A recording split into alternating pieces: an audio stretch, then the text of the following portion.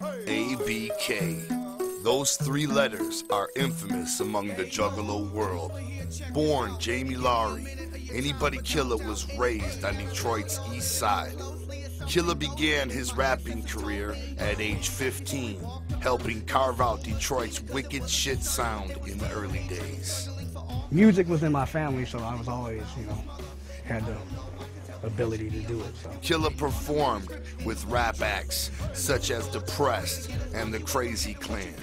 First group was Crazy Clan. Me and Lavelle it was J-Mo and J-Ho. We released two albums. It was Frustrations and Developmental.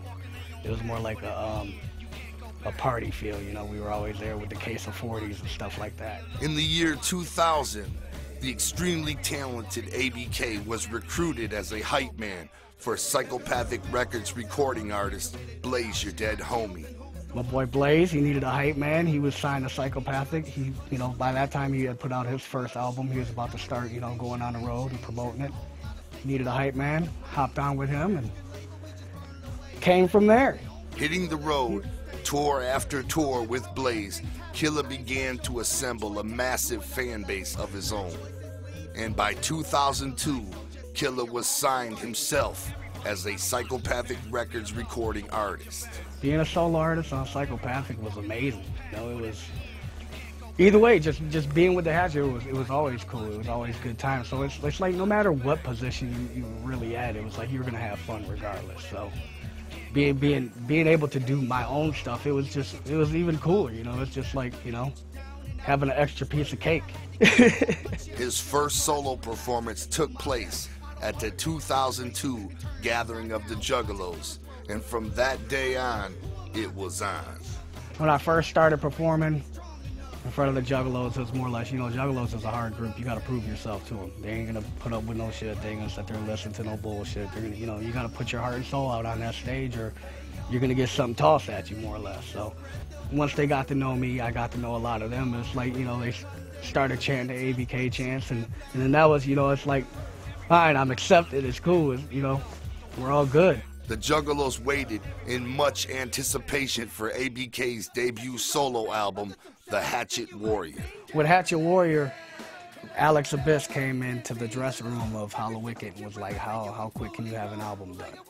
So I more or less, you know, put my foot in my mouth was like, you know, as soon as you need it. so right after, it was just a record. Right after I said that, I was in the studio day and night Joe Bruce was in here with me. We were in here till 5, 6 in the morning sometimes. The album was finally released on April 8th in 2003 and immediately went on to become a huge underground success for the Hatchet. ABK then embarked on several tours with other Hatchet acts.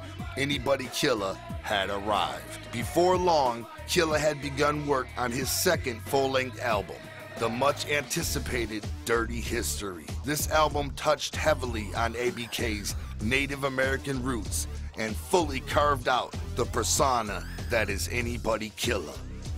Dirty History was my comfortable album. I was I was relaxed. I was cool. You know, I was real comfortable in the Lotus Pod. Have my swagger on the bike. So it was it was more or less just let's do some fun music and have fun with it, and, and that's that's what we got out of it. I always I always look at Dirty History like at you know how Hatchet Warrior was kind of based on you know the movie The Warriors. I always look at Dirty History kind of based on the movie The you know Carrie, you know, because it's like they could go two ways. They could love it or they could all laugh at you.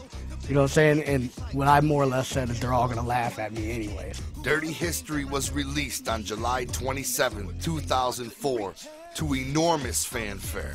In the year 2006, after Killa had finished two years of promotion for Dirty History, he returned home with a new agenda. ABK decided it was time to step down from the main stage and help start the careers of some of his longtime homies. My departure from Psychopathic, more or less just giving myself the ability to, you know, go back and help out some old school cats that, you know, I felt deserved a chance, just like, you know, people at Psychopathic felt I deserved a chance, you know, coming as Blaze's hype man and, you know, having having even, you know, the courage and putting the album out for me, you know, not really even knowing how it would sell, this and that, but, you know, just doing it, you know, that's, if, if no one gave me a chance, you wouldn't have Hatchet Warrior, just like if I didn't give anyone a chance, then they wouldn't have artists like Flagrant or Strychnine or, you know, just extra underground underground artists. You know, the same candy that I would see as a kid going in there and seeing those underground artists and like, let me get that. No one else can get that. It's not everywhere. It's, you know what I'm saying? And that's what I wanted to do is just give back to what was given to me. Anybody Killa started and financed his own label, Native World Incorporated. In the year 2007, ABK made his official return to a psychopathic record stage at the 8th annual Gathering of the Juggalos to an overwhelming response. And now, it's 2008. Psychopathic Records and Native World Incorporated and Anybody Killa officially announce the return of ABK to Psychopathic Records, just in time for the release of the most anticipated album of his career, Mudface. The Hatchet Warrior has come home.